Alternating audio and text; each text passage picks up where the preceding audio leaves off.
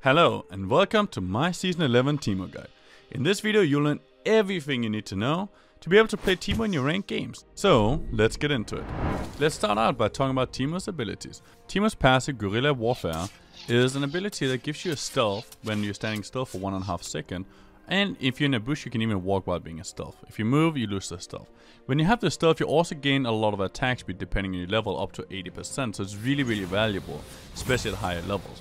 Something you want to use a lot, especially in bushes, because you can move around, you can dodge things, if you get ganked, maybe you can hide for a long time, and waste a lot of enemy time, which means they can't be anywhere else on the map. It's very beneficial. Second up, we have Teemo's Q, Blinding Dart.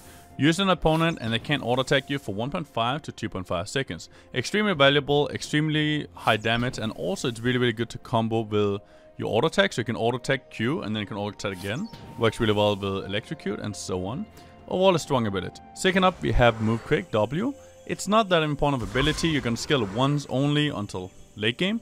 Um, it gives you a little bit of movement speed as passive. You actually get double that movement speed, but it's a very, very tiny amount. It's going to be 10% at the first level, which is what you're generally going to be using.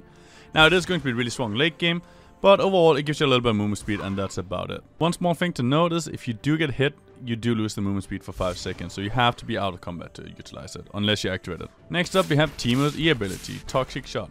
It does a little bit of extra damage in your auto attack, so every time you auto attack, you poison the enemies and you deal a bonus magic damage. It's just extra damage, it's nice to have, it's the first thing you're gonna skill. Overall strong, nothing much to know about this one, just more damage. Last but not least, we have Noxious Trap. Teemo's Mushrooms. Honestly, this is the bread and butter of Teemo. Everybody knows Teemo because of his mushrooms.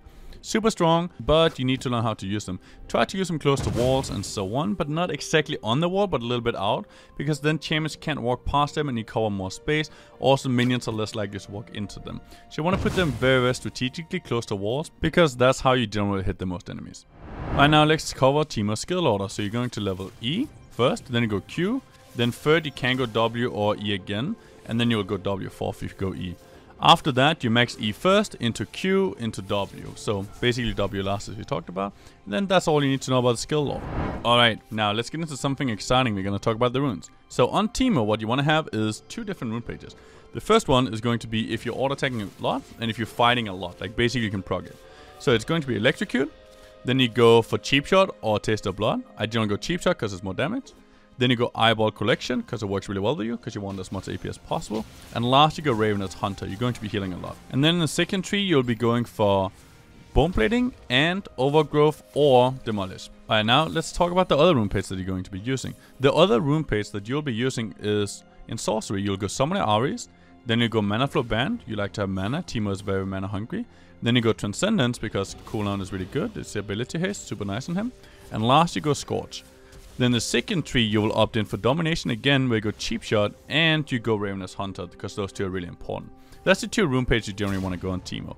Then in the small runes you want to always have attack speed, AD or Adaptive Force, and then last you go armor or matrices depending on what you need. Both are completely fine though. Alright, let's talk about the items because items on Teemo are very very unique. So first and foremost, you want to decide on a mythic item. Mythic items, you have two options. Liandry's Anguish or Riftmaker. Both of these two items are amazing. You want to go Liandry's if you don't really need the healing from Riftmaker and if you want mana. Generally, Riftmaker is better in my opinion. You want to have the healing and it's stronger. But Liandry's will be stronger straight up, so you have to decide what you kind of want. If you don't know what you want, just go Riftmaker because it's always good. Then now let's get into the second item. The second item is also very unique.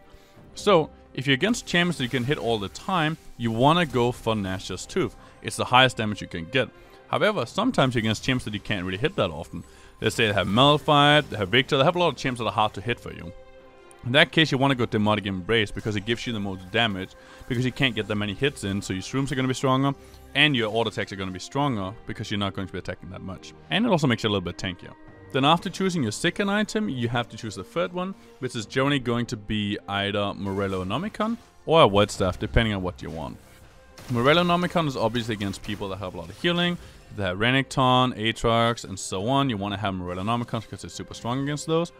Um, otherwise, you want to go for Void Staff because it's magic penetration, gives you a ton of damage. Generally, a lot of people are going to have magic resist right now, especially now the new Sunfire Aegis. Tanks are going to have a lot more resist than usual. So Void Staff is really, really beneficial nowadays. Also, sometimes you can end up in a situation where you want to have Nashor's Tooth and Demonic Embrace. You want to have both of those two. That's more of a rare case, uh, but it does happen. That case would mostly be if the enemy have a lot of health, but they don't have so much magic resist, right? Because then you don't need the Void Staff and you actually get more damage out of Demonic Embrace. Plus you're a little bit tanky in that case. And then the last AP item you finish up your Teemo build with is always going to be Rabadons.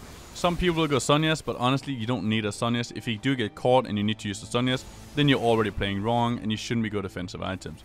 Get as much damage as possible, the only defensive items you should be getting is health based, so get Rabadons and finish up your build and do tons of damage and have fun on the rift.